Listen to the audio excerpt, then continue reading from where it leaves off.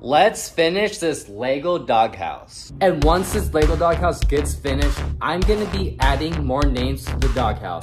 As you can see, there's a lot of space on the roof and we're not even done on this doghouse yet. So it's gonna go up all the way to here and in the front of the doghouse, as you can see, look at all this space that we're gonna add as well. So you guys have a great chance.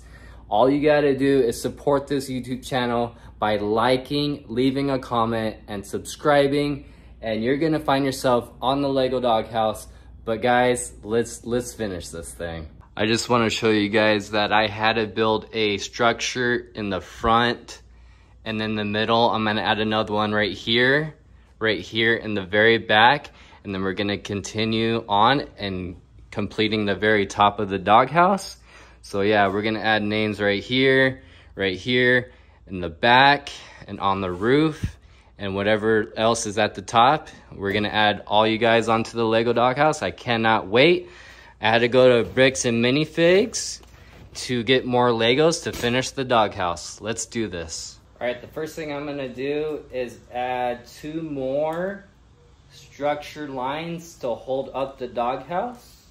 Let's make sure this is the same length and yep, it looks about right. All right, let's add it right here.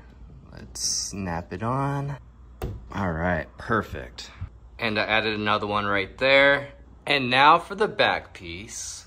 Next, I'm gonna add a thin layer of Lego all the way across the doghouse. Now I'm gonna fill up this gap right here. Got that done, now we gotta do the top. Okay guys, are you ready? All right, three, two, one. Here it is, guys. And no, we have not completed it just yet, but we are 95% complete. I had to buy some more Legos, but this is where I need your guys' help. So what should we do for the top?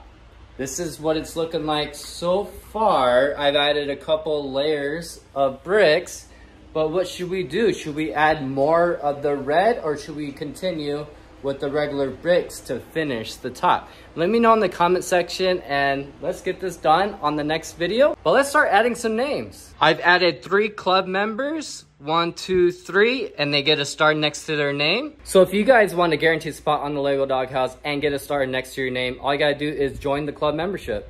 Now, let's add one new subscriber randomly in the comment section on the Doghouse. Where should we add you? Let's go right here. Congratulations to Cam Thomas. You are now on the doghouse. Guys, I just want to say how much I appreciate you guys. If it wasn't for you guys, we wouldn't even be this far into the doghouse. So guys, thank you for the support. And the more support we get, the faster we can finish the Lego doghouse. But that's to be it for today's video. If you leave a comment, like, and subscribe, I'll be selecting 50 random people in the comment section. Good luck to all of you. Peace out, guys.